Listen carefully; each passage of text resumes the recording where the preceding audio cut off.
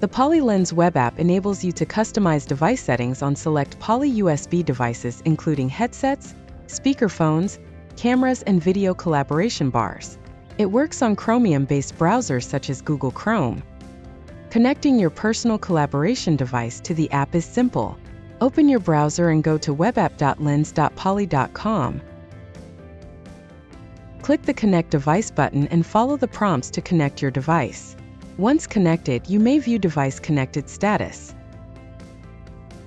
In device settings, you may set personal preferences for ringtones, volume, and advanced settings.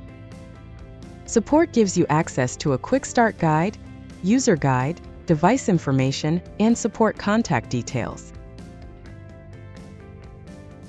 In app settings, you can configure device-related notifications you'd like to receive. You may also choose your preferred language and check the software version.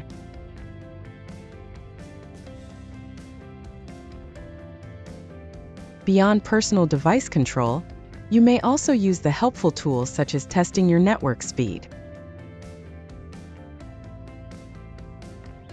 Improve your well-being throughout the day with soundscaping, hydration, and vision reminders.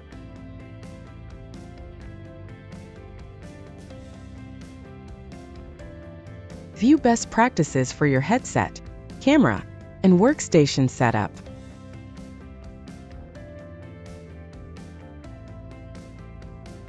And last but not least, you can access support-related information.